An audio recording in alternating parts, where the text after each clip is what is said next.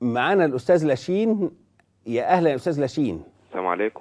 عليكم السلام ورحمة الله. إزيك يا دكتور؟ ربنا يبارك فيك. الحمد لله. والله يا دكتور أنا من أكتر المعجبين بيك والله. ربنا يبارك فيك. ده من ذوقك. الله يخليك يا دكتور. الله بعد يكرمك إذنك يا دكتور. اتفضل. دلوقتي يا دكتور أنا بعاني من حمى روماتيزمية على القلب وباخد حقنة البنسلين كل شهر. تمام. أنت عمرك كام سنة؟ أنا عندي 17 سنة. حبيبي ربنا يحافظ عليك. تمام.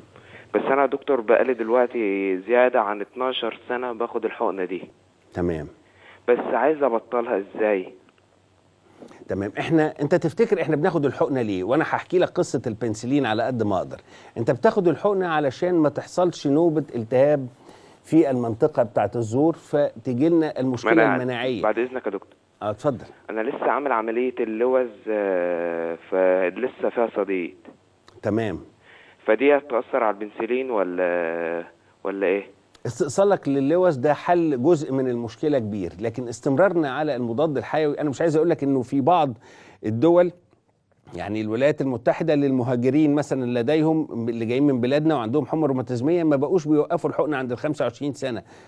لكن هي الفكرة إن إحنا بناخد حقنة البنسلين مش دي للوقاية مش من الحمى الروماتيزمية دي من الوقاية من إن يجي لنا البكتيريا العنقودية اللي بتعمل مشكلة مناعية تتشابه مع المشكلة بتاعة القلب فتسبب آه، يعني الالتهاب بتاع ال- ال- الحمى الروماتيزمية المعروف اللي إحنا بنشوفه.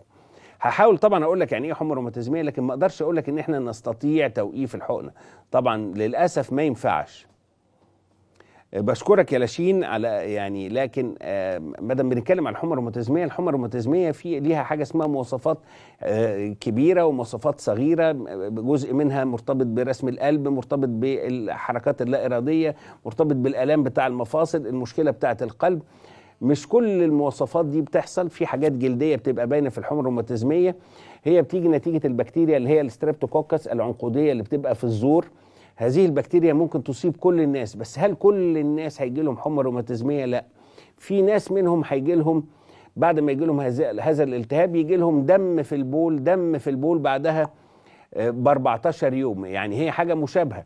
ده حاجة مناعية حاجة مناعية. ترسيب هذه الأجسام المناعية داخل الكلى أدى إلى مشكلة في الكلى. لا الموضوع الثاني بقى بتاع الحمى الروماتيزمية اللي إحنا بنتكلم عليه ده هذه الأجسام المناعية. بعد ما الدور انتهى نزلت على ال ال بقت متشابهة عملت أجسام مناعية خلت الجسم يعمل أجسام مناعية متشابهة للغشاء بتاع ال ال القلب الداخلي وصمامات القلب فأكتر حاجة تخلي هذه الخلايا المناعية تهاجم قلبنا. إحنا اللي بنهاجم نفسنا وتؤدي إلى الالتهاب الحمى الروماتيزميه المعلوم لدينا.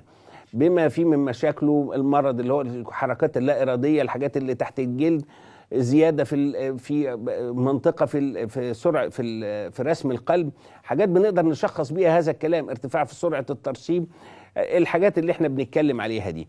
ففي حاجة اسمها ال criteria الكبيرة وال criteria الصغيرة لتشخيص هذا المرض. لكن لابد من الوقاية منه وان إحنا نتعايش لكن ما نقدرش نقول إن إحنا نوقف الحقنة. ده بالنسبة لكلمة حمى روماتيزميه